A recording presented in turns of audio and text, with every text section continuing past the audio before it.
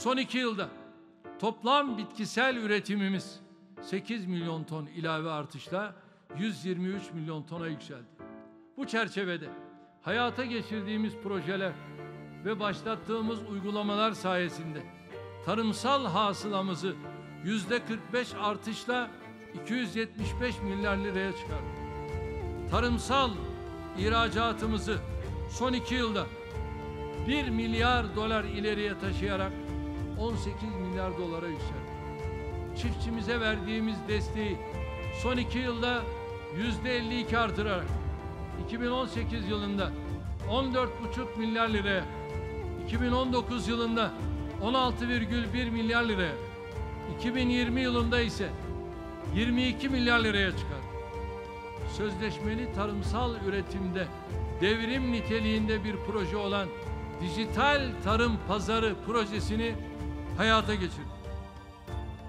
Coğrafi işaret tescili için şu anda başvuruda bulunan 112 tarım ve gıda ürünümüzün de belge almasını sağlayarak bu kapsamdaki ürün sayımızı 387'ye ulaştırdık. Ekilmeyen hazine arazilerini üretime kazandırmak amacıyla 24 ilimizde çiftçilerimize tohumun %75'ini hibe olarak verdik. Sertifikalı tohum üretimini %7 artırmak suretiyle 1 milyon 134 bin tona ulaştırdık. Milli ve yerli tohumculukta atadan toruna tohum seferberliğini başlattık. Hayvancılık desteklerini %78 artışla 3,7 milyar liradan 6,6 milyar liraya çıkardık. Son iki yılda bu amaçla 13 milyar lira destek ödemesi yaptık. Süt üretimi yüzde 4 artışla 23 milyon tona, kırmızı et üretimi yüzde 7 artışla 1,2 milyon tona ulaştı. Su ürünleri üretimimizi artırmak ve balıkçılarımızın haklarını korumak için su ürünleri kanununda değişiklik yaparak kaçak avcılığı engelledik.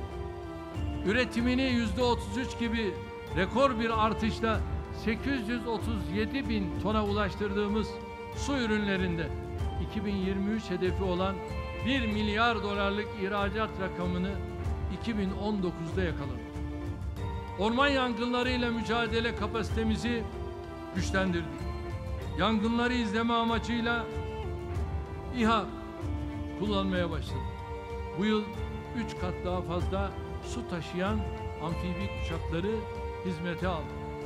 Korunan alan kapsamına son iki yılda 47 yeni yeri dahil ettik.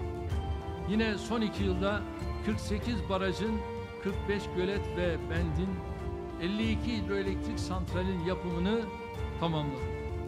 İnşa ettiğimiz tesislerle 159 bin hektar alanı sulamaya açtık.